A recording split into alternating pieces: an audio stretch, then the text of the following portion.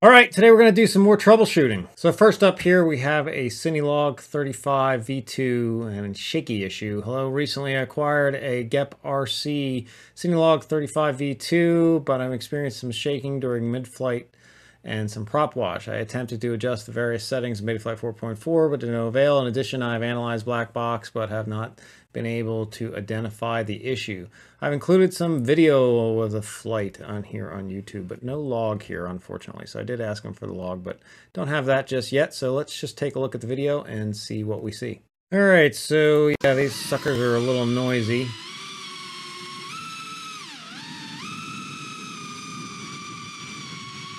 So I think that just back and forth there is probably just the sticks. You know, just, I would probably um, recommend adding more expo to your rates for some of this stuff.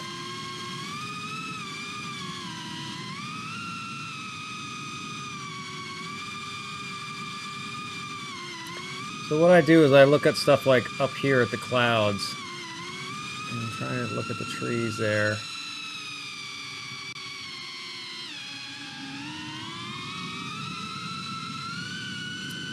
Little difficult. The video seems to be skipping here a little bit. Let me uh, change this to HD. Hmm.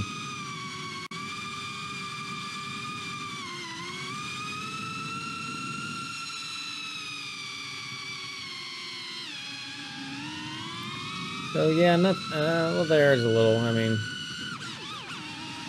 all right, so there you see a little bouncy, a bounce bounce. So let's uh, check that out in slow-mo. So if we come into here, check this out. Check out this flip. You can see a little jerk. It was kind of like back and to the right, back to the right. So, or back and to the left, I guess. Um, there, it would probably indicate to me to increase your yaw uh, terms. So for a cine lifter, I would definitely go into Betaflight or a cine log, not a cine lifter. And I would definitely go into here and check out changing this from roll pitch yaw to roll pitch. And then these uh, pitch terms here, I, or these yaw terms, I would boost those up to 100 and 100. Uh, with ducted quads, I need a little bit more emphasis put on yaw authority. The other thing I would do, uh, didn't see that in here, so I guess maybe I wouldn't worry about it too much. But if you did get washout uh, coming down from some of those tree looks and it would kind of spin out and wash out, instead of if props are out, I would do props in. Some testing I did on a, some sort of cine. I can't remember what it was. It was. I guess it was a cine log. Yeah, it wasn't a cine whoop. It was a cine log. Uh, showed that with ducks in that that mitigated it at least on that quad. So uh, that's what I do for those. But if duck's in already, that's probably going to get. Uh, it's not 100% going to guarantee that you don't have any washout when you're doing drop-ins, but uh, it can help.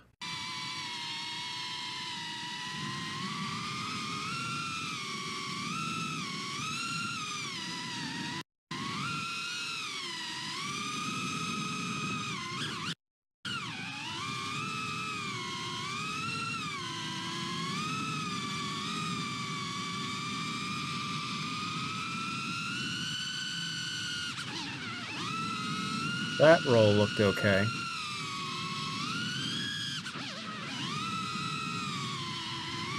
It looked okay as well. I think the biggest thing in for me, I I think the biggest thing in this one, I I, I don't see a lot of uh, issues in the light performance other than I think it's just jerky on the sticks a little bit.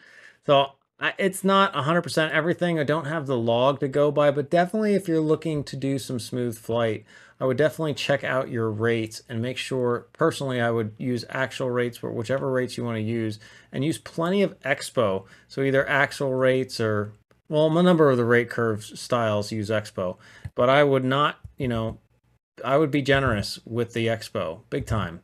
Uh, you know, I usually, for a cinematic kind of uh, look and feel, you know, you really want to crank these up so it's really soft at the center stick. You can still have your nice max rate uh, by, you know, adjusting those up to whatever you'd like.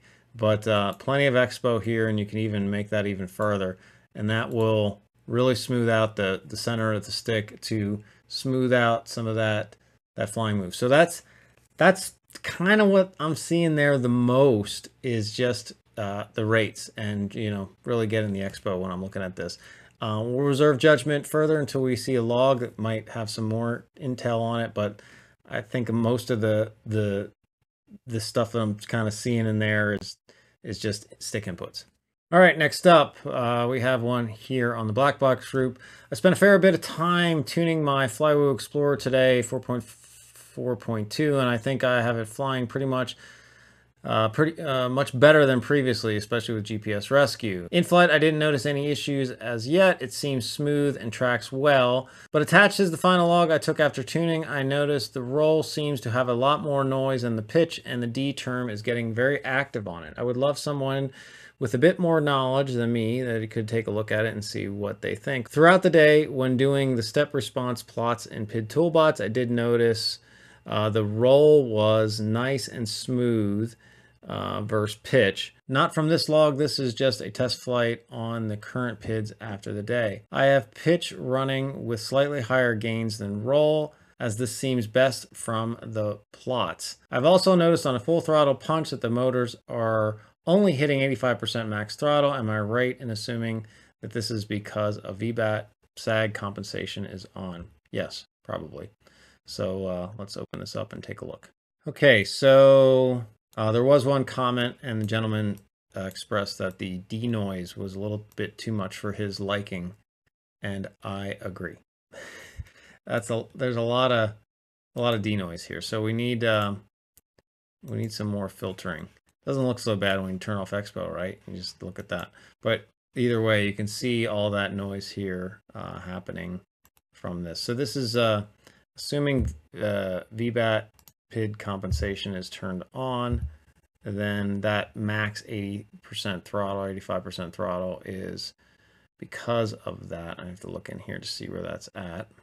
Hey, I just noticed in here what what we're having for D terms up here.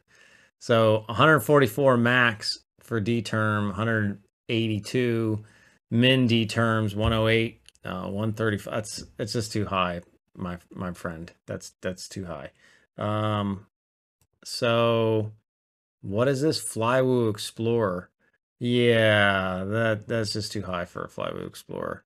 So yeah, that that it, for with gains that high, you're gonna have to apply a lot of filtering. And and here too, you're very uh, aggressive with the filtering. So you have your low pass filters completely turned off, and you're just using the RPM filter or dynamic notch here uh, with a 500 Q and then three harmonics on the RPM filter, and then you have a, uh, I, I don't, you know, a fairly conservative, not crazy conservative, uh, D term filtering. But it's just with these high gains, you're not going to be able to do this and this at the same time. And I, I would say that I would, yeah, this could be okay. I wouldn't get too crazy with that, but these gains probably need to come down some, especially with a Flywoo Explorer. Like I said, just a lot of D noise. Uh, you're not going to get, you know, because of the VBAT PID compensation being on, that's why you're getting the lower throttled amount here.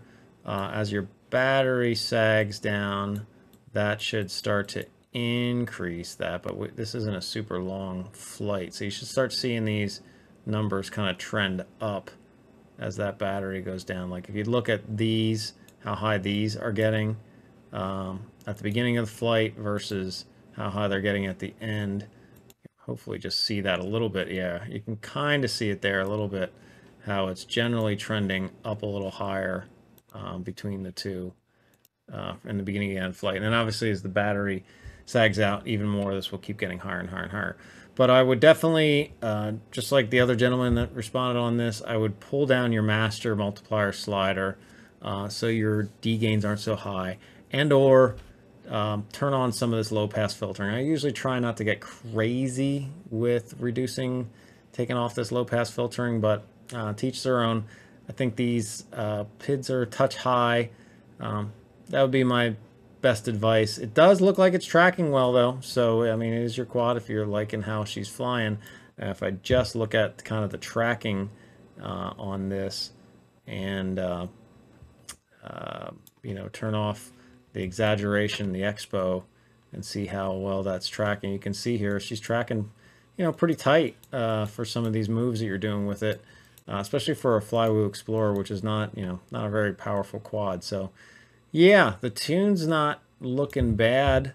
Uh, like on the ratios of everything, I just feel like the the filtering to the height of the master multiplier is a little off. Either add some more filtering, and you know that's what I would do, or do both combination add a little bit more filter and reduce that master multiplier. What you're really trying to do is you know we're trying not to get these spikes here in the motors. You know you're commanding the motor to go up to 100% and then all the way down to i don't know it, it's getting pretty low here all the way down to like 3% so you're commanding the motor to go way up and then way down and way up and way down. And that's you know uh, obviously that's what would normally lead to motor heat the other thing you can do is if you do have throttle, you know, you can see that that's a lot of the spiking is really when he's highest on the throttle. It's not entirely the case all the time, but I guess for just in general, for other folks, if you're looking at like you have a lot of uh, D-term spiking and stuff just when you're hitting 100% throttle, another trick I've imposed is just go into your rates tab. Oh, no, back under here. Go into your tab here. This TPA is set to D term only this is your TPA rate. Is this is how much you're going to reduce that D term. Um, so instead of 65%, you could take that to uh, maybe like 80%. You could leave it at 65 as well, and then change the breakpoint to be where you start to get that uh, higher throttle oscillation. So you kind of look in here, you can see it is at around 1650 uh, that starts to occur. So we could set this at like 1650. And then what it will do is it will start to ramp the D term down uh, when it gets to that that break point, the, the 1650. Actually, adjusted it here. It's supposed to be 1650. And it will reduce the PIDs by, you can see there, 80%, the D gain by 80% when it gets to 100 throttle. Between 65% throttle, which is this, 65% throttle, and 100% throttle. By the time it gets to 100% throttle, will reduce the gain, D gains by 80%, which obviously that will uh, reduce how much it is magnifying the noise uh, when you're ramping up here to this higher throttle amount. So I go like that, and you know, then you won't get these vibrations. You'll hear your motor spin up and whine a little bit more in a good way. You know, they're getting to their max RPM. Well, that's going to do it for this one. But to exit out, did you know that Betaflight is hosting a competition, freestyle competition? Uh, entries from September 1st to September 30th. You can see the more details here. If you go to the Betaflight Discord, you can check out the announcements page for that. Looks like you do competition video posts uh, under competition videos right here um, for discussions or anything, questions, comments, whatever.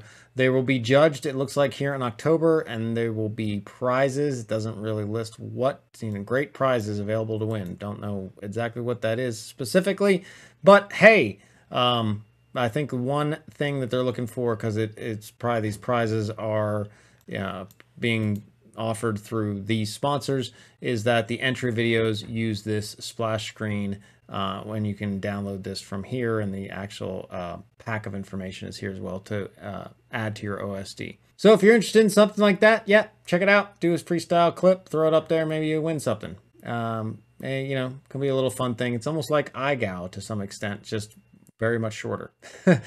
All right. Thanks, everybody. Hope this helped. A nice, short, sweet one this week. I'm working on some other stuff. Thanks, everybody. See you on the next one.